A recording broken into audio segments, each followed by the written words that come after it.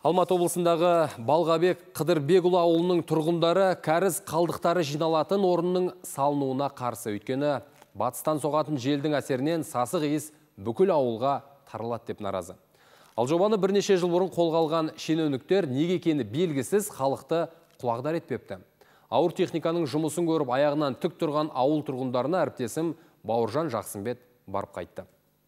Жамбыл ауданындағы Балғабек Қыдырбекұлы ауылының тұрғындарынан бір аптадан бері маза кеткен. Себебі ауыл іргесіндегі жұмысшылар кәріз қалдықтары жиналатын орынды дайындауға кірісті дейді. Бұған дейін бұл мәселе туралы ешкім жақ ашпады деген халық жобаның салынуына қарсы. Өйткені батыстан соғатын желдің кесірінен енді ауылды қолаңса иіс басады деп қорқады. Кірпішный заводтан шыққан шаң тозаң мен түтіннің иісі аздай енді бүкіл сасық иістің бәрі біздің ауылды састады ғой. Ал мектепте отырған балалардың бәрі үстілеріне де сасып кетеді. Білеміз ғой ондай жағдайдың бәрін. Қай жерде жаңағы кәріз құдықтары бар сол жақта әлем сасиды ғой. Мына жотаның маңайына жұрт мал жайып шаруашылықтарына пайдаланып келген. Енді жер кәріз су жиналатын орынға айналатын болса жүздеген гектар телім жарамсыз болып қалама деп қорқып отыр. Сондықтан төрт түлікті төлдетіп көбейтуді көздеп отқандар бұл істі тезірек тоқтатуын сұрап отыр. Жүз жетпіс гектардай жер берілген дейді.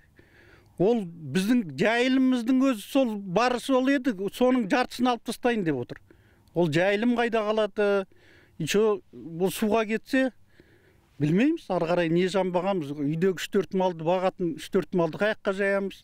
Ал халықпен кездесуге келген шенеуніктер кәріз қалдығын төгетін орын шынымен де салынады деді. Ұзынағаш ауылының құбырын ауыстырып кәріз жиналатын орынды салу үшін жеті де алты миллиард ал биылға екі де бір миллиард теңге бөлініп қойған екен. Бұл жоба 2019 жылдан бастап жобаланып басталды. Ең бастапқысында тазарту құрылғылары болады.